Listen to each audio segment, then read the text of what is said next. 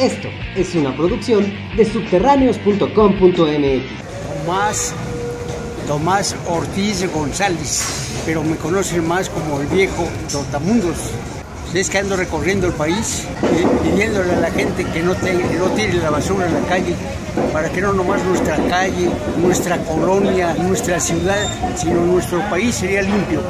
Yo tengo, yo tengo 92 años, yo sí vi al país limpio, pero limpio, no más limpio, sino lo vi limpio. Cuando tenía yo 18 años, fui soldado cuando la Segunda Guerra Mundial, entonces anduvimos por muchas partes de la República, pueblos chicos, ciudades chicas, pero todo era limpio. El 18 de mayo del 2008, ya tengo siete años, nueve meses de andar en la calle, pero he estado en toda la República, ya las 32 capitales de la República y el Distrito Federal ya lo recorrí. Ahora ando recorriendo las ciudades más importantes de los estados. Hasta ahorita 188 ciudades.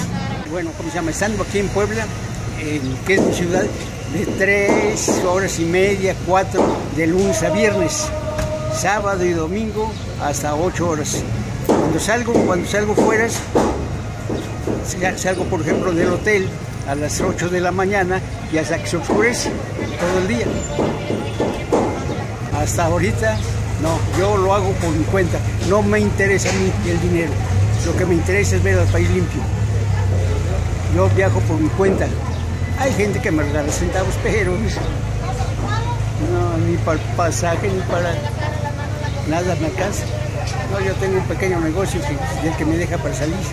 Pues nada más pidiéndole con que la gente, con una poca de voluntad, con una poca de voluntad, que no tire la basura, nuestras calles serían limpias.